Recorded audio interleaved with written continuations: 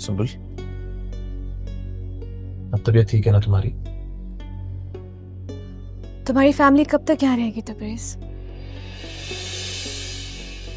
तुम अच्छी तरह से जानते हो कि मुझे उनका यहाँ आना उनको देखना बिल्कुल भी अच्छा नहीं लगता। पता नहीं मुझे क्यों लग रहा है कि वो यहाँ पे किसी खास प्लानिंग से आए हैं। मुझे और मेरे बच्चे को नुकसान पहुँचा कर ही जाएँगे। ऐसा कुछ नहीं है सुबुल सिर्फ़ वह है तुम्हारा। वो लोग अच्छे तरीके से जानते हैं कि तुम्हारी अहमियत क्या है।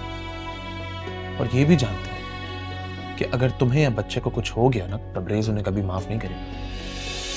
लिहाजा वो कुछ नहीं करेगी। काम डाउन रिलैक्स मैं समझा दूँगा वो चले जाएँगे वो वापस। गुड